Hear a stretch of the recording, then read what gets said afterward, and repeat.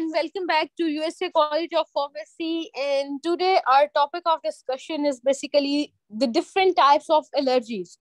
And uh, uh, as we all already have studied that what is hypersensitivity and uh, what is allergy and what is allergen, what is antibody, what is immune system. Basically, these are the basis of this whole chapter. You can say this is the basic foundation of this whole chapter तो uh, ये बेटे हमने सारी बातें discuss कर ली हुई हैं कि क्या है जो बेसिक टॉपिक है आज हमारे पास जो हमने स्टार्ट करना है it is types of allergies as it is already shared on your screen so let's start a topic without wasting our time different types of allergies बेटे allergies can be induced by different allergens ठीक है?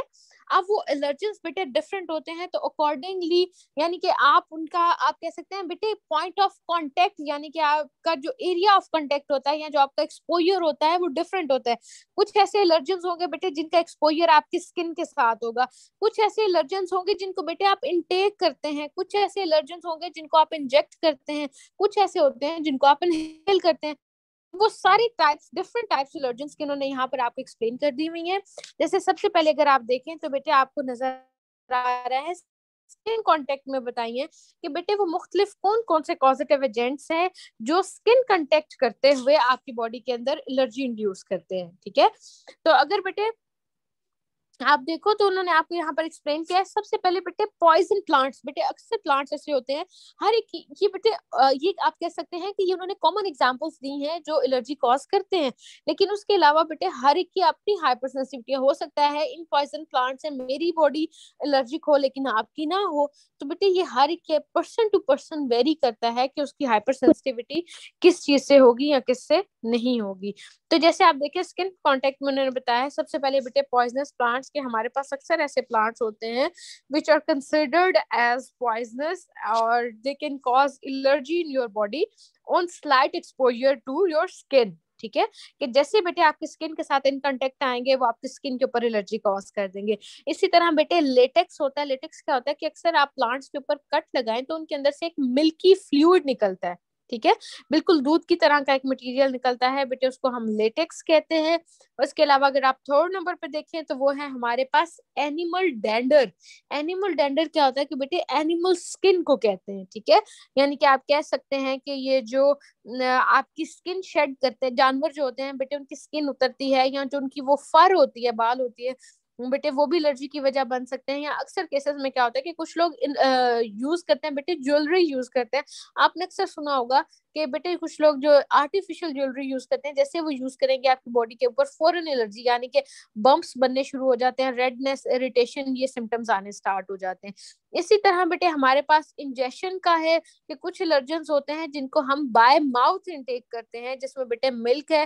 जैसे मैंने आपको कल भी बताया था कि मिल्क के अंदर बेटे प्रोटीन होता है, जिसको हम कैसीन कहते हैं, ठीक है? अब वो बेटे जो कैसीन प्रोटीन होता है, वो आपकी बॉडी के अंदर एलर्जी कॉज करता है। उसके अलावा बेटे मेडिकेशन है मेडिकेशन में जैसे मोस्टली एंटीबायोटिक्स होते हैं, ठीक है? एंटीबायोटिक्स में कौन कौन से आते हैं? जैसे पेंसिलीन हैं बेटे। पेंसिलीन आपकी बॉडी के अंदर एलर्जी कॉज करते हैं।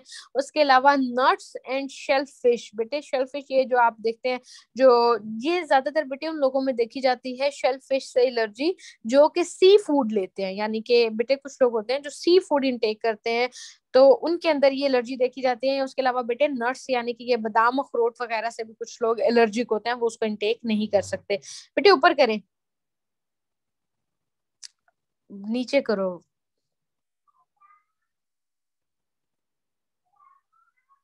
आगे अगर आप देखें तो बेटे थर्ड टाइप है हमारे पास। इंजेक्शन के फॉर्म में, यानी कि वो एलर्जेंस जिनको आप इंजेक्शन के फॉर्म में लेते हैं और बेटे आपकी बॉडी के अंदर एलर्जी कॉज करेंगे तो उसमें हमारे पास आ जाती है मेडिकेशन। यानी कि बेटे अक्सर ड्रग्स होते हैं जिनको आप बाय इंजेक्शन अपनी बॉडी के अंदर ऐड करते हैं।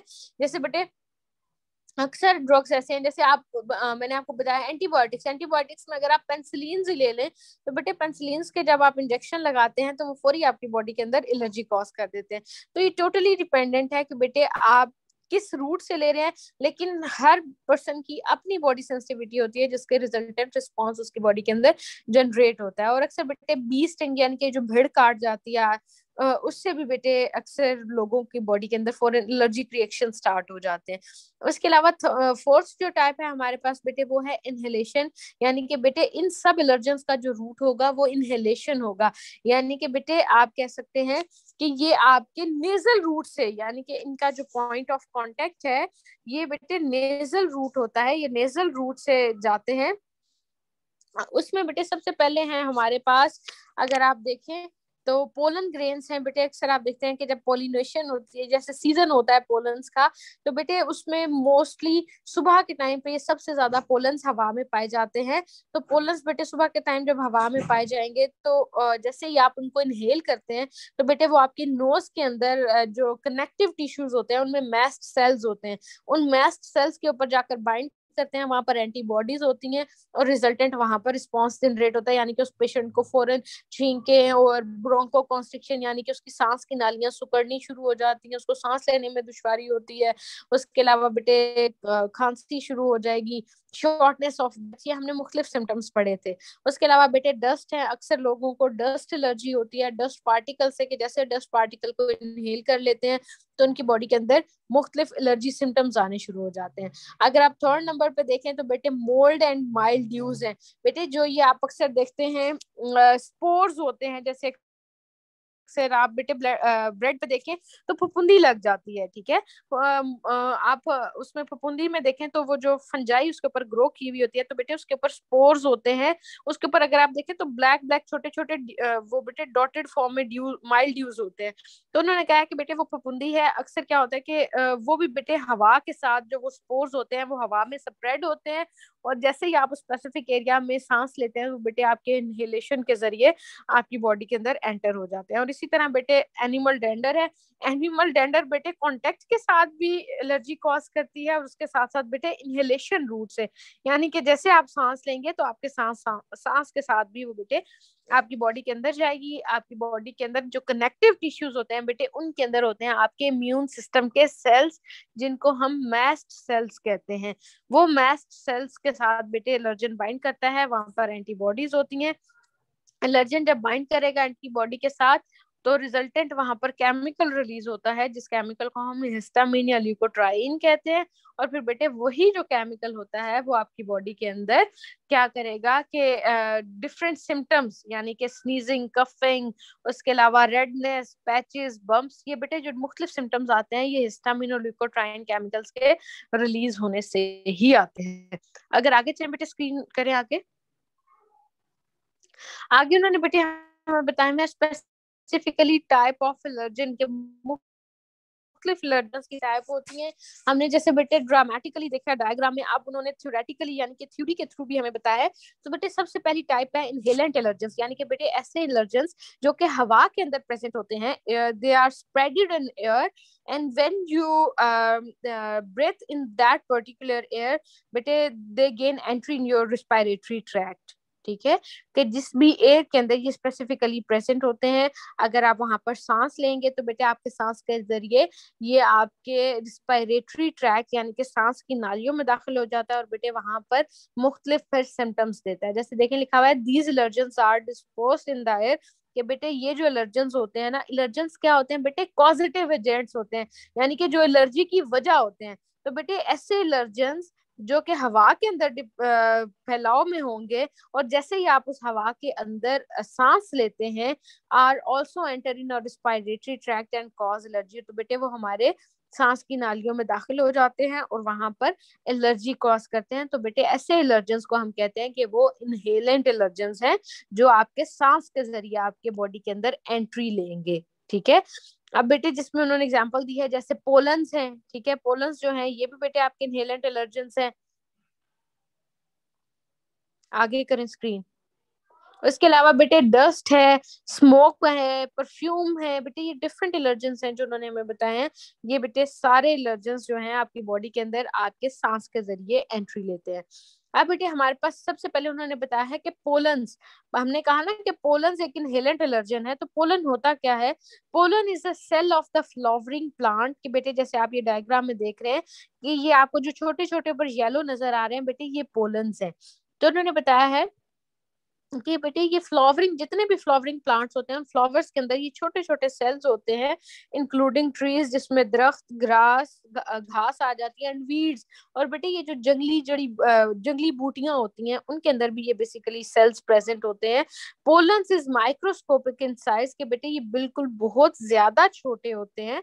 And pollen is the most common cause of seasonal allergic rhinitis कि बेटे जो पोलन ग्रेन है ये सबसे ज़्यादा कॉमन काज है बेटे नेजल एलर्जी के सीजनल एलर्जिक रेनाइटिस क्या होता है कि बेटे, एक स्पेसिफिक सीज़न के अंदर जब पोलन हवा के अंदर उड़ना शुरू हो जाते हैं, हवा में फैले हुए होते हैं तो बेटे आप जब सांस लेते हैं तो सांस के ज़रिए ये आपके नाक के अंदर जाते हैं और बेटे जो आपके नोज़ के अंदर म्यूकस मेम्ब्रेन है, यानी कि आपको पता है ना, आपके नाक के अंदर बेटे कॉन्टिन्यूसली म्यूकस प्रोड्यूस हो रही होती है, वो क्यों प्रोड्यूस जिसकी वजह से आपका नाक गीला रहता है अंदर से तो बेटे वो क्यों म्यूकस प्रोड्यूस हो रही होती है, क्योंकि अंदर म्यूकस मेम्ब्रेन होती हैं। तो बेटे, जैसे ही इलर्जन जाएगा, वो उस म्यूकस मेम्ब्रेन की स्वेलिंग कर देगा और बेटे, ये स्पेसिफिक सीज़न में ही होता है, उसके अलावा नहीं होता। तो इसलिए हम इसको कहते हैं कि ये सीजनल एलर्जिक रेनाइटिस है। या बेटे, इसको हम हे फीवर भी कहते हैं, ठीक है? इसका जो दूसरा नाम है, वो हमारे पास हे फीवर भी है, ठीक है?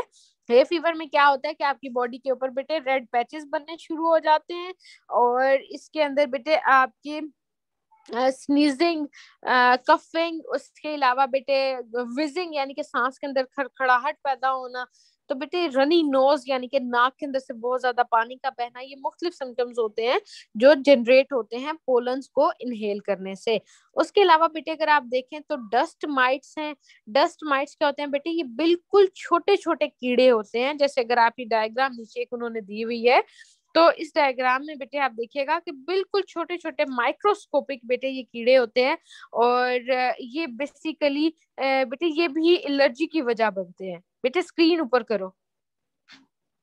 जी, यहाँ पर अगर आप देखें dust mites are microscopic organism के बेटे ये माइक्रोस्कोपिक होते हैं, यानी कि जाहिरी आँख से नज़र नहीं आते। That can live and thrive जो कि बेटे ज़िंदा रह सकते हैं एंड थ्राइव थ्राइव का मतलब होता है कि ग्रो कर सकते हैं।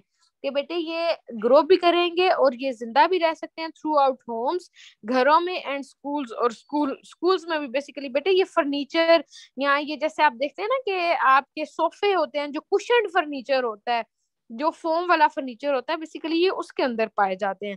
The mites and the waste products are present in the following अब बेटे उन्होंने कहा है, ये जो कीड़े होते हैं, बिल्कुल छोटे छोटे यहाँ जो इनके वेस्ट प्रोडक्ट्स होते हैं, जो कि एलर्जी की वजह बनते हैं, ये बेटे नीचे बताई हुई चीज़ों में प्रेजेंट है, जिसमें सबसे पहले आप बेडिंग यानी कि बेटे जिसमें आपके मेट्रेसेस आते हैं एंड पिलोज पिलोज में बेटे जैसे ये आपके जो तकिए होते हैं, जो ये आप कह सकते हैं कॉटन के बने, रुई के होते हैं या फोम के होते हैं, उसके अलावा बेटे upholstered furniture upholstered furniture कौन सा होता है बेटे?